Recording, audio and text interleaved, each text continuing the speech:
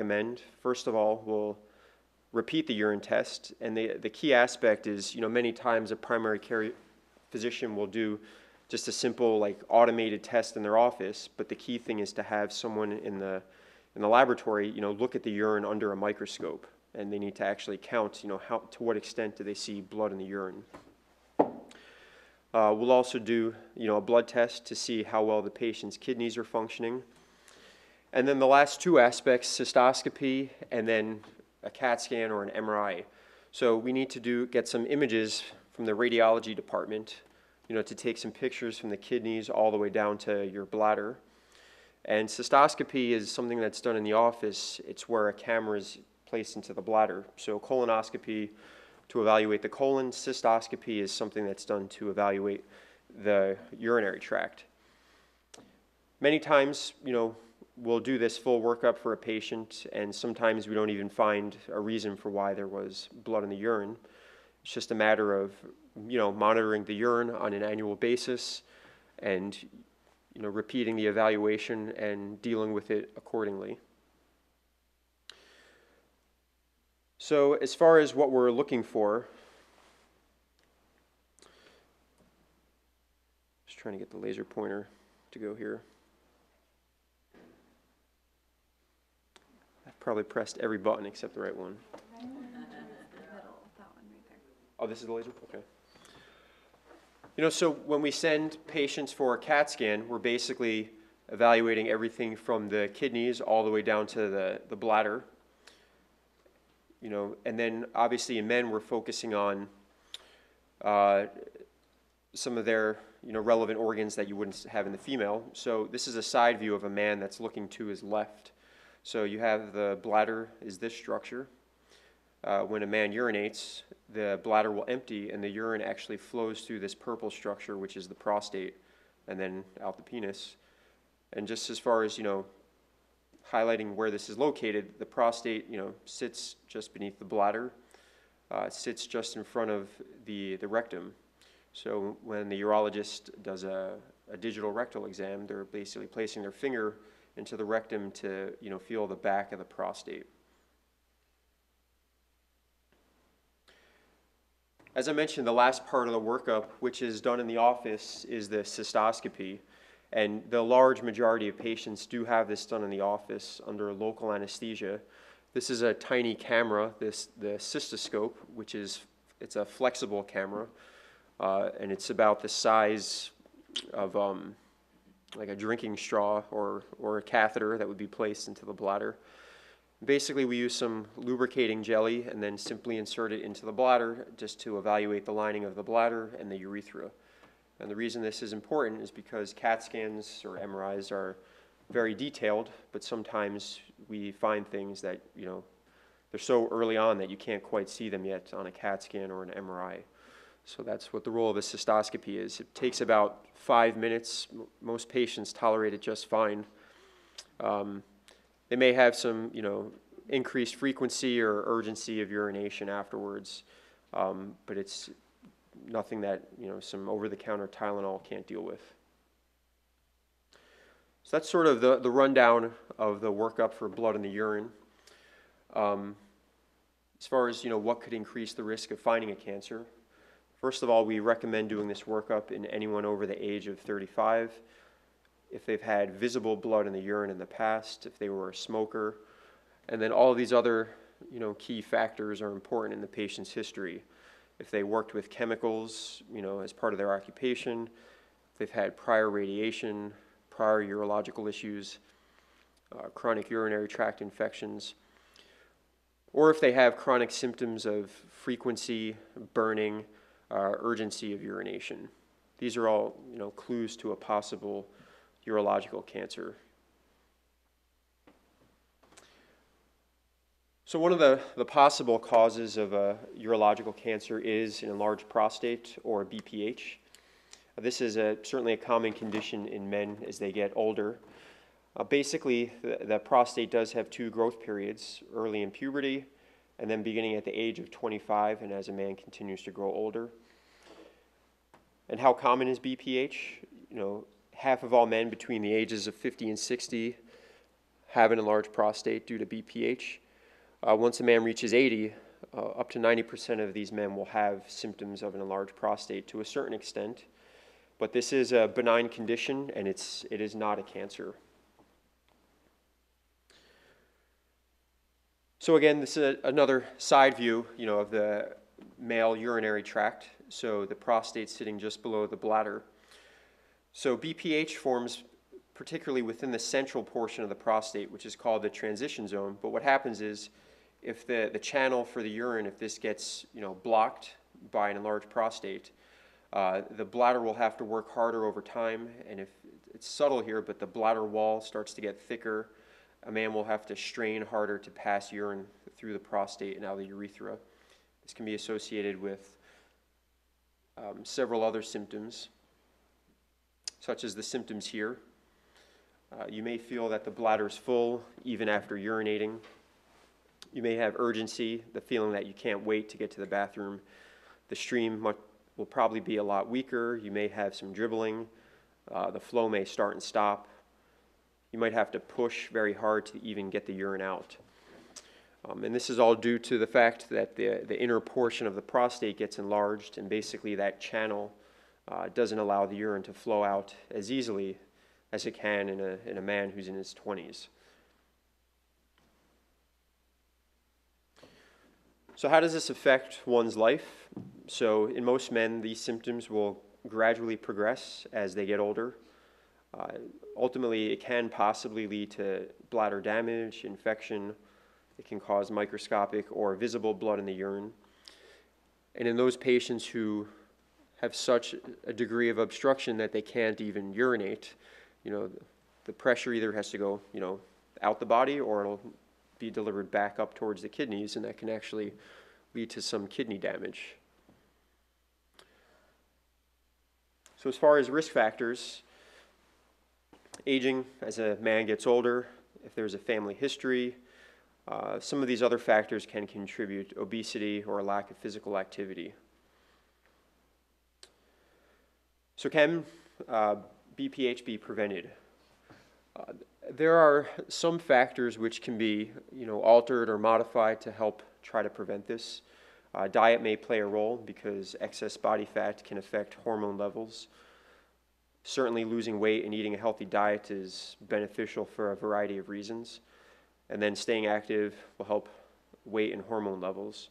So, you know, there are some things that can contribute, but ultimately, um, if this is what you know, is deemed to happen to your body, it's, it, it ultimately may just be a matter of time. So when your primary doctor refers a man, you know, for evaluation of enlarged prostate, or if someone just comes for evaluation, some of the things we'll do, you know, in addition to getting a history, there are some standardized questionnaires where we can actually, you know, um, assign a score, a, a numerical score to uh, describe how severe are the man's symptoms. We'll do some urine testing to rule out microscopic blood or infection. Uh, we may do a blood test to screen for the risk of prostate cancer. And then there are some other uh, mechanical things we can do in the office. Uh, we have some machines that you know the man can urinate in. It tells us how fast is the man urinating, and that number we can compare to you know the average man of that age. We can do an ultrasound in the office after someone goes to the bathroom to see how much urine is left over in the bladder. Uh, if you have an elevated residual volume, that's certainly an indicator of an enlarged prostate. And then there's some other, you know, diagnostic tests as well, depending upon, you know, what other things have been tried to treat it, and you know, if the patient ultimately decides to have this treated surgically. So again, when your physician examines a man, you know, basically by placing a finger into the rectum, they're feeling the back of the prostate here. And the key thing is that can enable us to assess, you know, how large is the prostate, but if there are any nodules or any hard areas that are felt, that may be suggestive of a, of a prostate cancer that has yet to be diagnosed. So if a man has bothersome urinary symptoms that are most likely due to BPH, what can be done? If it's just a matter of, you know, th- there are minimal symptoms, it hasn't really affected the man's quality of life, it's certainly an option just to monitor the symptoms, you know, have a reassessment in three or six months' time to see how the patient's doing. If the symptoms have become particularly bothersome and they're affecting a man's quality of life, that's when we start to offer some of the other therapies, such as medications and ultimately uh, surgery if indicated. So, Flomax is one of the common medications that is given to men, and this is a medication that falls under the class of alpha blockers. It's a medication that's taken once a day to relax the prostate, and then that allows a man to empty the bladder more effectively. It may increase the flow of urine, and it may decrease frequency, decrease the urgency. These are generally very safe medications. They have some side effects. They may cause nasal congestion. Um, they may have some sexual side effects, not erectile dysfunction, but they may decrease the amount of uh, semen during sexual activity. But overall, they're well tolerated and don't interact really with any medications. The other medication is no, uh, that's commonly prescribed is known as Proscar or finasteride. The difference, with, and that's this class of medication. The difference with that medication is that will actually shrink the prostate over time, but that um, that takes about six months for that to you know have some effect on a man. So medications such as Flomax, within a week, a man should start to see some improvement. Uh, with the other one, it may take several months before you see an improvement. So if a man's been on medications, you know, for at least a month, yes, please. The first one, how long it takes, and the second one? So alpha blockers are known, you know, one of the common ones is Flomax, and usually within a few days to a week, you would start to see some improvement in your symptoms. The, the other ones, you know, such as Proscar, which is commonly prescribed, that will take at least six months before it has some effect, because what are the side effects of this? So these medications affect how the body metabolizes testosterone. So that will have an effect on it may decrease a man's libido or interest in sexual activity. It may affect erectile function also. Are those long-term medications, or you take those forever, or? Yeah, it, uh, in some patients, if they're significantly improved, uh, their, their symptoms and their quality of life, they can certainly continue on these medications permanently. You know, if you stop these medications, certainly the, prox, the prostate will no longer be relaxed. Uh, the prostate may continue to grow. Uh, some patients do fine with the medications, but they, they don't like the idea of having to take pills on a daily basis. So they may ultimately opt for surgery so they can be off the pills. So, and that's a little bit of what's summarized here. You know, in those patients that consider surgery, some of the things that you have to think about is, you know, first of all, how large is the man's prostate? That may determine what is the best option for surgery. Uh, how healthy is the patient otherwise? Can they tolerate anesthesia? Uh, and what is their personal choice? The best candidates for surgery have moderate to severe symptoms, and we can actually assign a number score to that based on some of these standard questionnaires. If the patient has a history of, you know, blood in the urine or complete blockage where they can't urinate, or if they're actually forming stones in their bladder, uh, that would be a good candidate for surgery. Um, if they're urinating very slowly, or if they think they're not benefiting from any of the pills, these would be some of the good candidates for a surgical therapy. So one of the common procedures, which has been performed for many years now, is known as a TURP, or a transurethral resection of the prostate. So it's done on an, an outpatient basis. You know, the patient can typically sometimes go home the same day or the following day. There's no cuts made to that. There's no incisions anywhere on the body.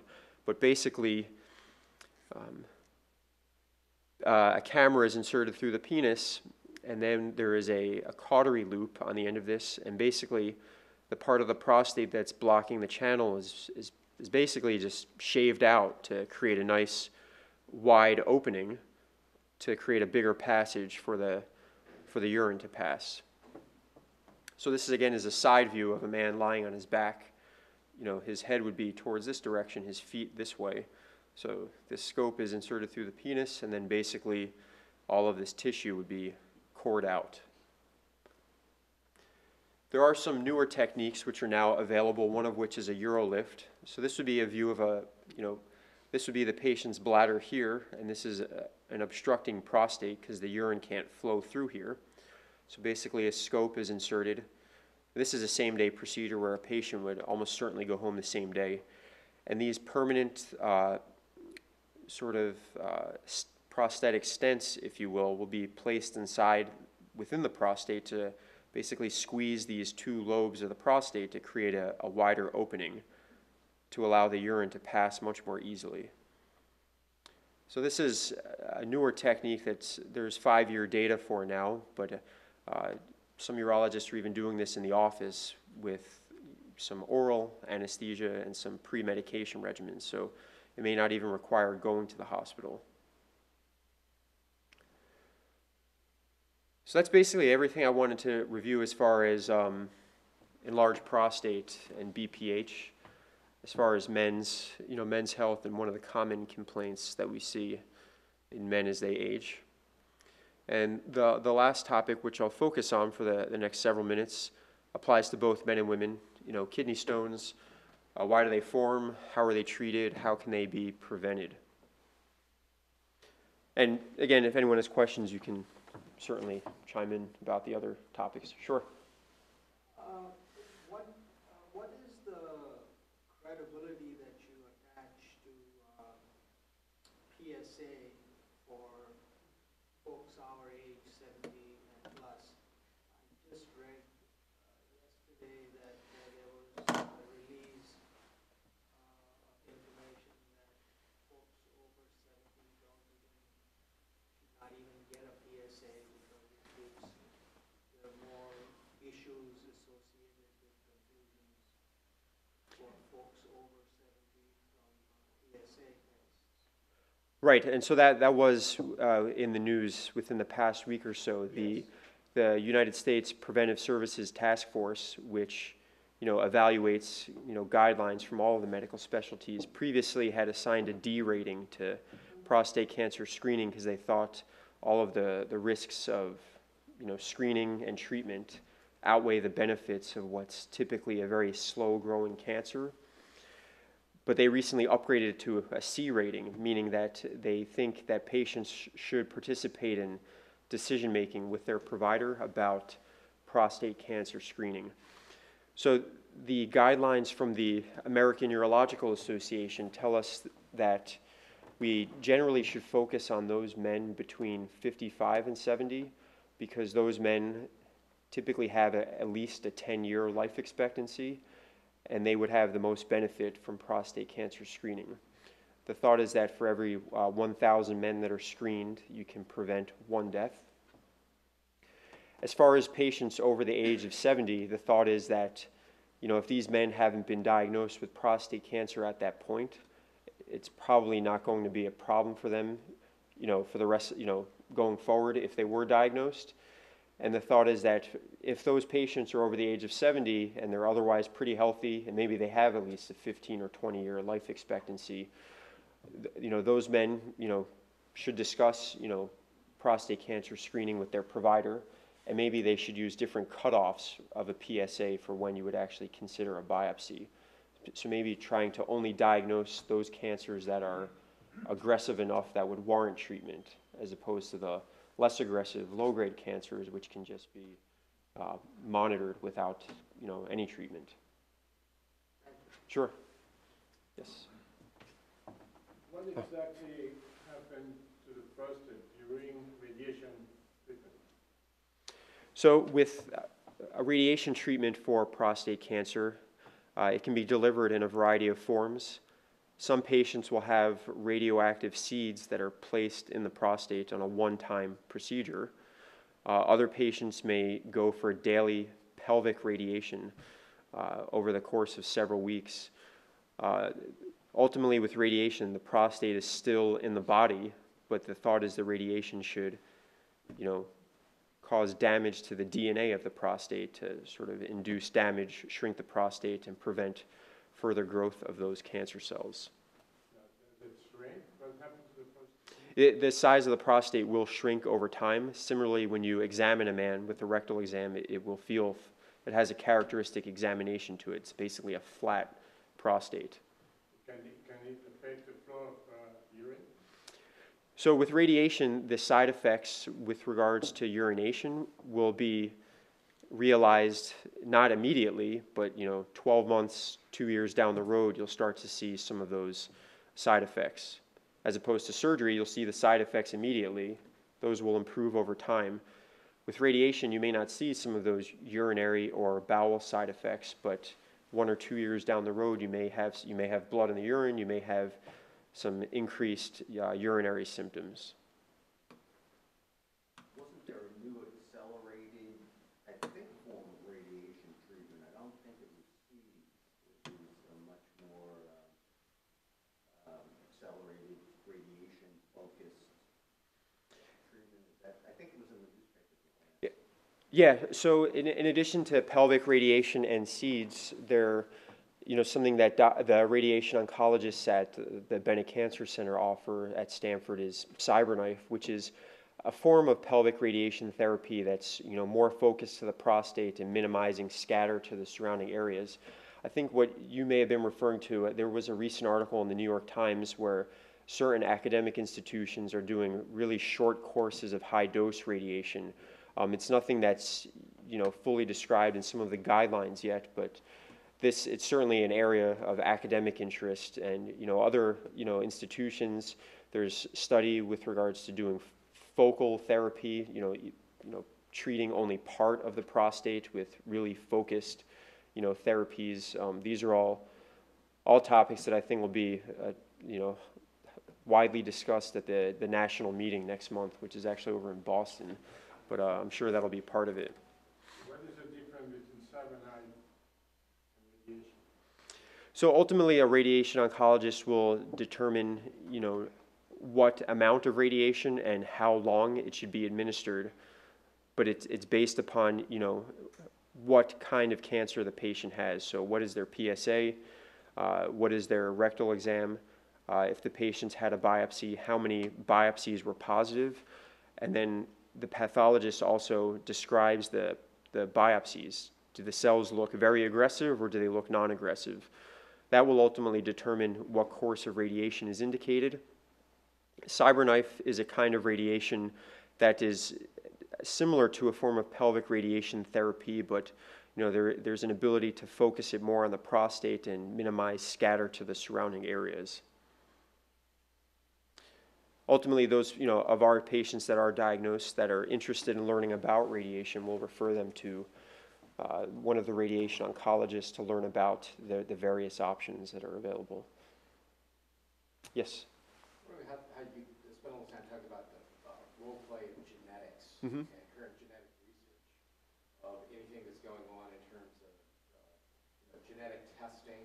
Uh, you know, there's been certain cancers that have been shown in women that trace back to certain uh, races in the Middle East, et cetera. sure Uh, You know, there's a high tendency for people who are uh, Afro-American in regards to having a higher propensity to acquire, uh, you know, have prostate cancer tendencies. Uh, And I wonder if you could talk to us a little bit about what those factors are. Right. So as far as you know, when we first start to screen a man for prostate cancer with PSA screening, as I said, the the goal population is between the ages of 55 and 70. But if a man is African American, or if there is a, a strong family history of first degree relatives, whether it's a man's father or a brother, that certainly places a man at high risk. So we would start to screen those patients between the ages of 40 and 55 and that would be with you know starting to do digital rectal examinations first and also uh, starting PSA screening sooner. There, there is a lot of you know interest in also trying to determine you know which patients truly would warrant uh, a biopsy. So there are some newer tests that can be done before a biopsy to help a man, you know, determine, you know, should I go through with a prostate biopsy? And these are some, uh, some of which are urine tests. There are some blood tests that are looking at some proteins that are related to PSA. And there are some data uh, on these tests now that, uh, you know, if a man, you know, a primary care doctor will check a PSA on a man, there are some blood tests uh, now that can not only say what is a man's risk of having prostate cancer overall, but what is his risk of having a particularly aggressive kind of cancer. And that information can be used to determine, you know, who really warrants undergoing a biopsy and who can safely be followed with just annual PSAs. Um, there are also some tests that can be done after a biopsy is done. You know, biopsies are not uh, very, um, you're only sampling a small portion of the prostate, so how can we know, have we sampled the truly aggressive parts of the prostate? Did we possibly miss something?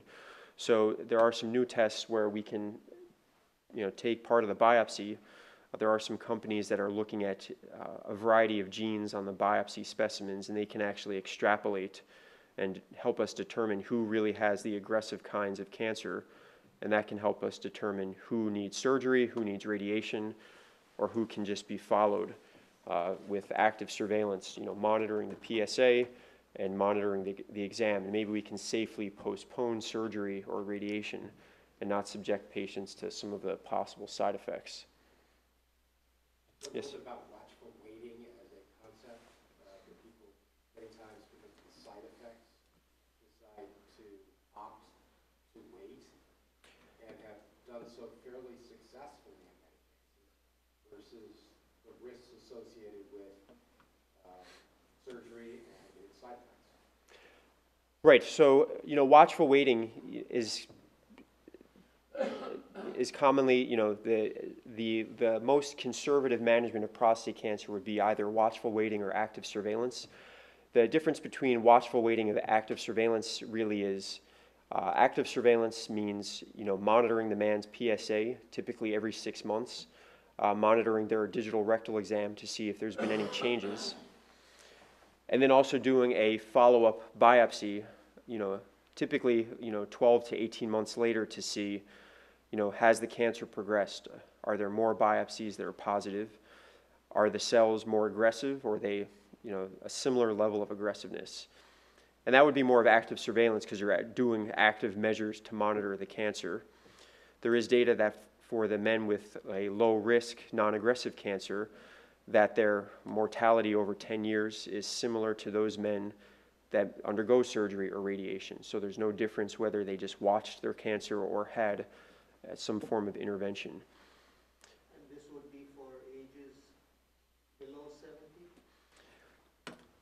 It, it depends. Um, it depends on uh, a variety of factors. Um, it may depend on the man's life expectancy. You know, if they have a, a life expectancy less than 10 years, and if they have a particularly, you know, less aggressive kind of cancer, then certainly watching those patients uh, is a reasonable option. In those men that are younger, if they have a long life expectancy, but if if they only have if they have a low PSA, if they only have one or two of their 12 biopsies that are positive, if they have a benign exam, those patients may be good candidates for surveillance as well. Yeah, Yes. Uh, What about immunotherapy for uh, prostate cancer? So as far as uh, immunotherapy, this has a role in some patients that the, um, that may have already had cancer that's spread to other parts of the body. So if they have metastatic prostate cancer, uh, there are some newer therapies and new guidelines for the use of immunotherapy. Uh, the sort of main treatment for men with cancer that's spread outside the prostate to other parts of the body is called hormonal therapy. That's medication that is, it's not chemotherapy, it's medication that reduces the man's testosterone level. Um, if a man has been on hormonal therapy and they have some progression of their PSA, uh, there is an option for immunotherapy in select patients uh, that you know that have progressed on hormonal therapy. there's, there's sort of a new uh, algorithm for those patients that have, have metastatic prostate cancer that have progressed on hormonal therapy. And then it's based upon, you know, to what degree is this man having symptoms? Is it effective?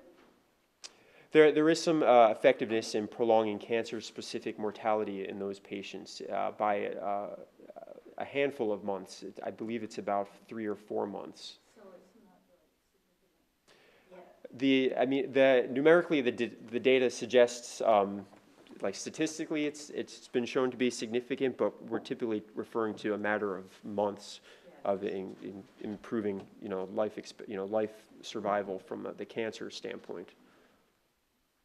Yes?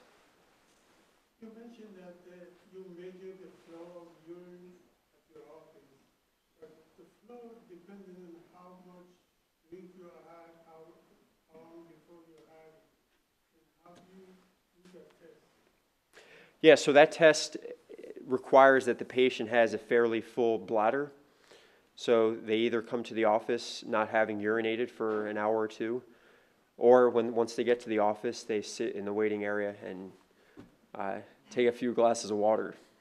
Because you need to have, you know, maybe 150 to 200 milliliters to, to get an accurate assessment. Otherwise, if, the, if your bladder's empty, it's just going to look like trickles anyway. So, yes? I have a question about um, bladder stones. Mhm. Is there a predisposi- predisposition for a gentleman to have bladder stones if he has an enlarged prostate? Well, it's certain, certainly one of the uh, incidents that may happen. If you have a large prostate and you're not emptying your bladder adequately and you just have a lot of stagnant urine sitting in the bladder, uh, that's certainly a risk factor to form bladder stones. But is there any reason for a healthy man to not have the um, surgery to enlarge the urethra? Any reason not to have it? Well, I mean, you know, it, depending upon the degree of the man's symptoms, um, if there, what are their other underlying medical issues? Can they tolerate general anesthesia? Um, those are the, the things that have to be considered. Any other issues from the prostate standpoint? Sure. What were the two uh, uh, treatments or surgeries that you said? One was TURP, Mm-hmm. and what was the other one, the more modern one? Oh, Yeah, the UroLift. UroLift. Mm-hmm. So, you know, at, uh, at an advanced stage, everybody or most people have a enlarged prostate. Mm-hmm. So when would you resort or be a candidate for either of these two uh, uh, surgeries? Is it when you have complete blockage of urination, or how, is is it an emergency process, or how does it come about? uh, something such as the UroLift, this is typically, you know, planned electively. So if a man has had bothersome symptoms, you know, chronically over the years, if they've started on some of these medications and the symptom improvement does not lead to a, a significantly improved quality of life, then these are one of the elective procedures that you can consider for a man. I mean, there are some you know, anatomical, you know, factors that we have to consider and work the patient up for in the office to see if they're a candidate for this. Um, you know, we have to see, you know, we have to measure how, you know, how large is the prostate. There are some other factors, you know, we typically do a diagnostic cystoscopy in the office, you know, to see, you know, uh, how large is the prostate. Um, if there are certain parts of the prostate that are enlarged, that may, may, that may make the man not a candidate for a UroLift and more appropriate for some of the other, other tests. For the other, other, another surgery? Yeah, if, if there's certain, you know, parts of the workup that aren't, we don't, um, that the man doesn't qualify for, or if he has other, you know, issues in his anatomy that make it more complex, he may be a candidate for, you know, the traditional TURP, which not only is done with a cautery element, but there's some other ways we can do this by using a, a laser to basically vaporize all of this tissue by heating it up very hot with the camera, and then, you know, opening up the channel also. Can, can you call this a preventative kind of thing, or is it something that has to be done only after you develop uh, uh, a urine blood? But we, we would only do it once a man has started to experience some of those bothersome symptoms. And if they've tried medications and don't get enough relief with them. So the first step would be medication? Yeah.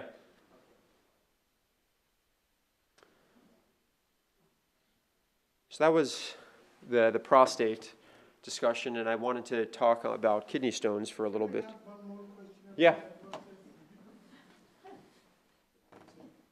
Can can even your prostate is not enlarged?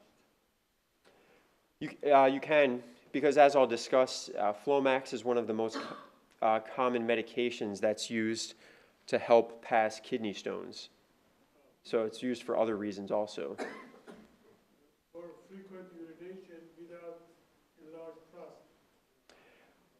Sure, I mean, that's, that's one of the options. I mean, there are, there's a whole other class of medications for overactive bladder, not necessarily due to an enlarged prostate, um, that work by an entirely different mechanism. Um, and that's, th- those may be more appropriate, but, uh, and you, and those are, you probably see a lot more commercials for nowadays also, because there's more medications for that. It's, right, it's still, it's a prescription drug.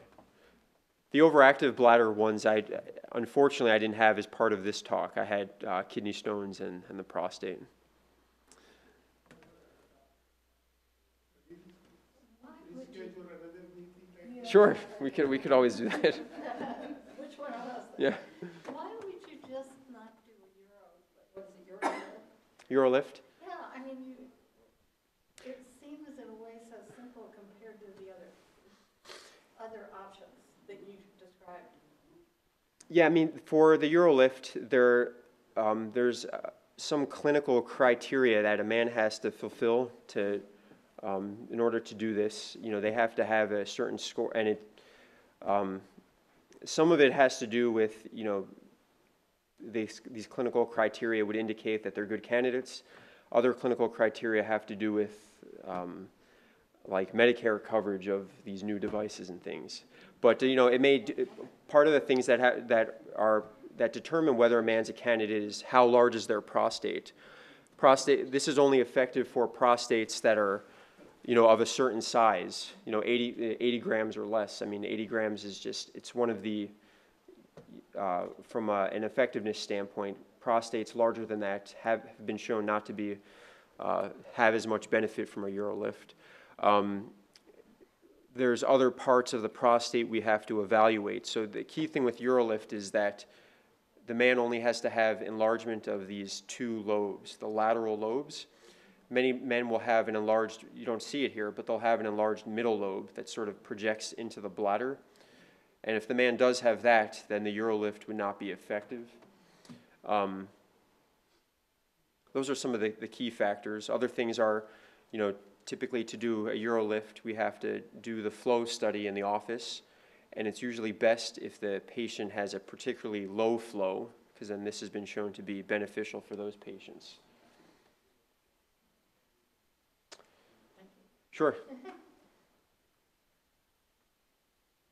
So I'll go through, you know, why do stones form? Uh, what are the options for treating kidney stones?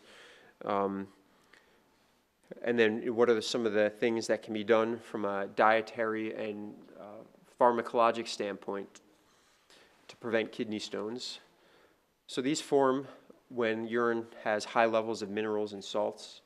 So they'll form, you know, within the kidney.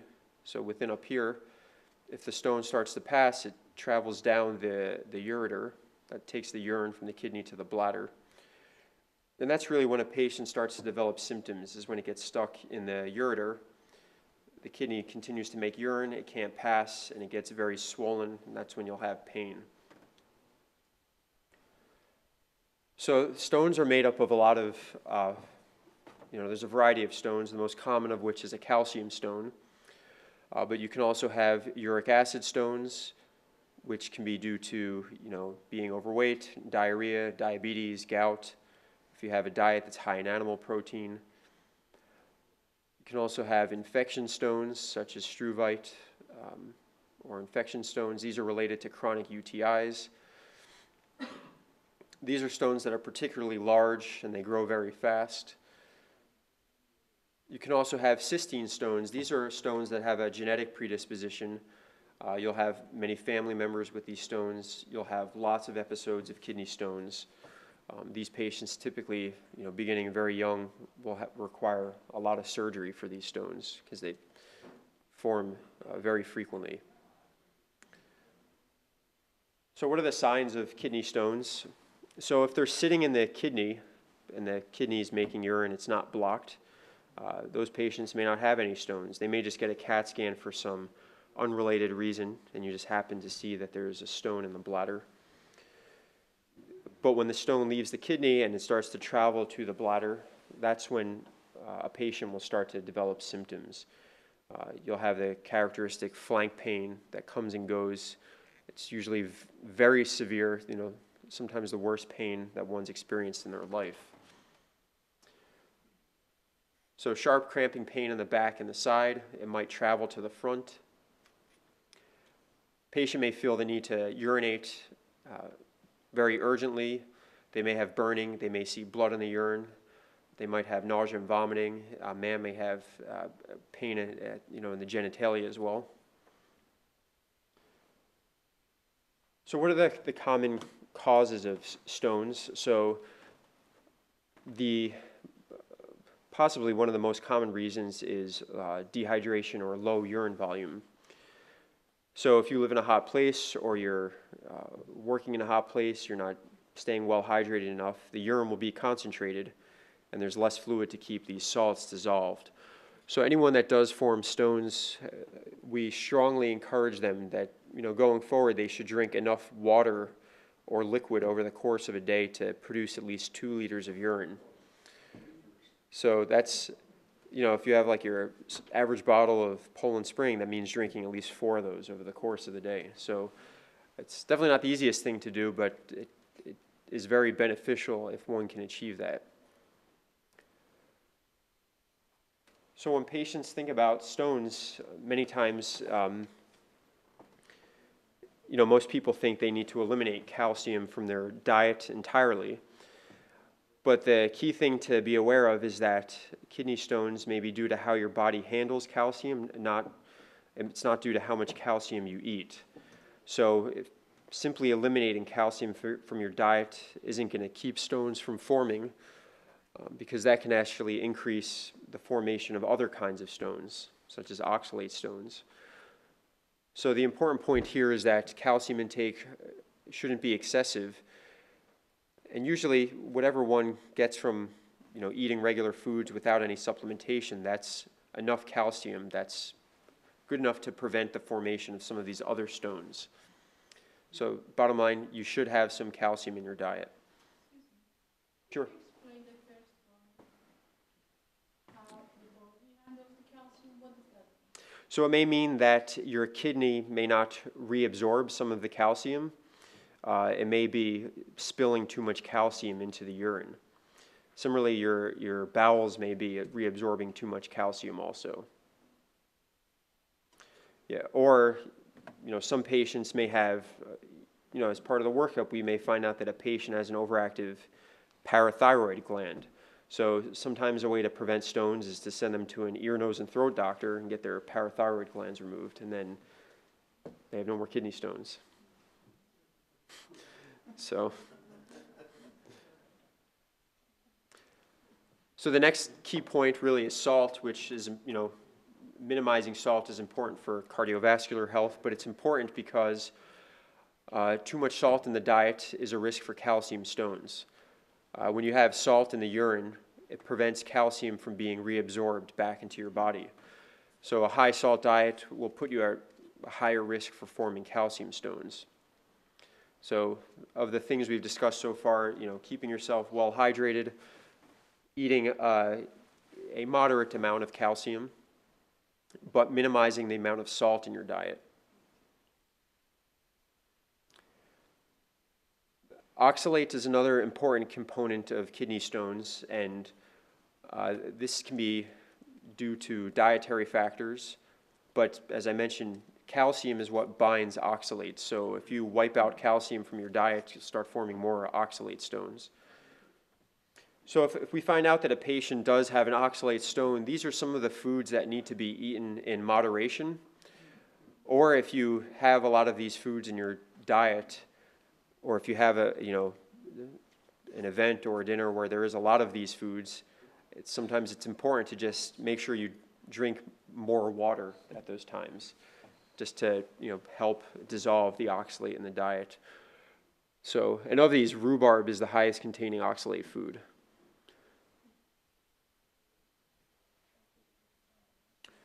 So animal protein, whether it's beef, fish, chicken, or pork, these can raise acid levels in the body and in the urine. Um, this may make it easier for calcium and uric acid stones to form. So if we find out that a patient has either a uric acid stone or a calcium oxalate stone, you know, again, they don't have to eliminate these entirely, but, you know, eat them in moderation or consider other non-animal protein sources. Um, there's some other conditions that can put a patient at risk for stones. You know, if a patient has an inflammatory bowel disease such as Crohn's or ulcerative colitis, if they've had gastric bypass surgery, um, diarrhea, uh, these can all put patients at risk of forming oxalate stones. Um, obesity can contribute. Just going to go through these a little bit more quickly. There's some other, you know, medical conditions that, I- such as you know, some that I mentioned. You know, the genetic disorders such as cystinuria. You know, if you have an overactive parathyroid gland. Some other, you know, less common uh, conditions that one can have, making them prone to kidney stones. Cystinuria, so cystine stones. Uh, it's a kind of a amino acid um, that if there is a gene that if you have, you know, two copies of this gene, you'll form a lot of these stones. Um, family history, medications, you know, certainly, you know, excessive supplementation of calcium may contribute to stones. So how do we diagnose stones? So uh, many times, you know, a patient may have an X-ray for or a CAT scan for an unrelated reason, and they'll see a stone that's sitting in the kidney. Or if the patient has, you know, a new episode of severe pain or blood in the urine, they'll have, you know, they'll come to the ER, a scan will be done, and that's when they'll be diagnosed for the first time. So how do we treat the kidney stones? So this depends on, you know, how many stones does the patient have, where is the stone located, and how many of the stones do they have? If a patient has a single stone that's on the smaller side, less than five millimeters, uh, many times the can, these can be passed spontaneously. But there's some things that we can do to help pass the stones. Uh, so the, the key thing obviously is to, to make, the, make sure you stay well hydrated. But Flomax will relax the ureter, and this will make it easier for the stone to pass. So both men and women with stones will be placed on Flomax. Surgery becomes an option uh, during the following key scenarios. If, if we've tried the Flomax for several weeks and if we do some follow-up tests that show the stone hasn't passed, if the patient just has pain that is too severe, that they require IV medication, you know, nothing orally is controlling the pain. Or if they've been shown to have you know, kidney dysfunction because the stone is, is blocking the kidney and it starts to fail. So there's a variety of options. You know, some are minimally invasive, some are more invasive. It's a matter of the, the simplest is if, you know, twice a month there's a machine that comes to the Tully Center. And basically, this machine delivers some shocks to the patient's back. And this basically breaks up the stone into small pieces. And then these would pass in the urine spontaneously. Um, there's more invasive options. We may put cameras, you know, through the penis up into the, or, or through the, the woman's urethra up into the kidney. If it's a very big stone, we may have to go through the patient's back to break it up. Are these shocks uh, radioactive? There, it's basically an ultrasound device that delivers shocks to the back. And then during the procedure, we use uh, some x-rays to monitor that the stone's fragmenting well. So I have a couple other slides to, to go through um, that I'll go through a, a little bit more quickly in the interest of time. Basically, if a patient has recurrent stones or if they have multiple stones, those patients should be worked up further. And the key part of that test is where we have them collect their urine for 24 hours. Um, and then basically, you know, after that urine's been analyzed, we can look at all of the components in the urine to see what puts them at risk for forming stones. So it may be as, as simply just the patient needs to be more hydrated. Uh, it may be a matter of eliminating salt in the diet, you know, eliminating these kinds of high salt containing foods. Um, it may be, uh, you know, maybe they're not getting enough calcium in their diet, so they need to, you know, eat three to four servings of calcium-rich food. They're not getting fruits and vegetables. They're eating too many of the foods with oxalate. They have a lot of spinach, almonds, tea. They form cal- you know, oxalate stones, so they need to cut back on those things. Um, if they're forming the other kinds of stones, the uric acid stones, or cysteine or calcium oxalate, they may need to cut back on, you know, animal proteins. If dietary measures, you know, and then we, we institute the dietary measures, and then three, three to six months later, we can always repeat the urine tests and see, you know, what are their parameters now? Are they, have they, you know, recovered completely? Are they in a very favorable environment to not form stones, or do they still need to alter some things? So some patients may be placed on medications as well to help prevent the formation of stones. Um, some of which are, you know, potassium citrate. So citrate's something, one of the key components to prevent stones.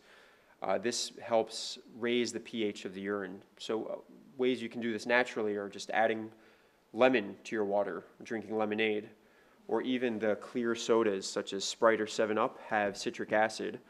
So if one is going to drink soda, from a kidney stone standpoint, it would be best to drink, you know, Sprite or 7-Up as opposed to, you know, Coke or Pepsi because they have phosphoric acid. Uh, as far as the other thing here, you know, thiazide diuretics, many patients with high blood pressure are on hydrochlorothiazide, and that's actually one of the medications that can be considered to help prevent, you know, calcium stones as well. So, you know, there's a variety of things that can be done to prevent stones, you know, simply hydrating oneself, you know, changing dietary components, um, instituting medications. So there are a lot of non-surgical options ultimately as well. And I think that was the last slide I had from the, the kidney stone standpoint. Any questions from the kidney stone standpoint? Sure. No, on a different subject. Sure, or any, any topic, obviously, is fine. You mentioned that uh, a routine blood test can uh, uh, give, give out indications for predisposition of prostate canc- cancer. Is that, is there any particular uh, uh, description that the, that the uh, uh, primary should put down in the blood test? Is it just a CBC or CC? Right, the main one is the PSA, which is usually the test that a, your primary doctor would discuss with you. And it's the prostate-specific antigen, so it's, Okay, so that's, it's PSA. right. That would be the, the first step. And then it has to be interpreted in light of the patient's race and their age range, because the, the normal range differs based on that also. I, I don't want to take too much time, but what do you recommend uh, with radiation and uh, hormonic, so the proper term, treatment, months at a time? What duration? Hormone treatment in parallel with uh, radiation. So it depends upon what risk of prostate cancer the patient has. So usually when a patient is newly diagnosed, we look at all of the clinical information and then we can classify them as low, intermediate, or high risk. and that will determine what duration of hormonal therapy is appropriate. So those men that are considered high-risk prostate cancer will typically be placed on hormonal therapy for two to three years. If you're intermediate risk, it may be four to six months of uh, hormonal therapy. Yes? In the physical exam, what kind of tests can you perform for uh, kidney stone possibility? Potential for kidney stone? Well, well, some of the, uh, uh, clinically, you know, on exam, if a patient has some flank tenderness where, you know, it's called, it's right where the, your back meets the lower part of the rib cage, that's typically right over the kidney, that can be certainly a sign of possibly a urinary tract infection that's gone up to the kidneys or possibly an obstructing kidney stone. Um, aside from that, we look at urine tests. Kidney stones are, are a common cause of microscopic or visible blood in the urine. Uh, but many times it's you know imaging, whether it's an ultrasound or a CAT scan that's been performed. That's usually, I mean, once you have that done, if it shows a stone, then you know what's what's going on. Or if a man, you know, is pat or a woman is passing stone debris in their urine, that's certainly an indicator that maybe they warrant some imaging to find out what's going on. Any other questions or anything? All right. Thank, thank you for having me again. Appreciate it.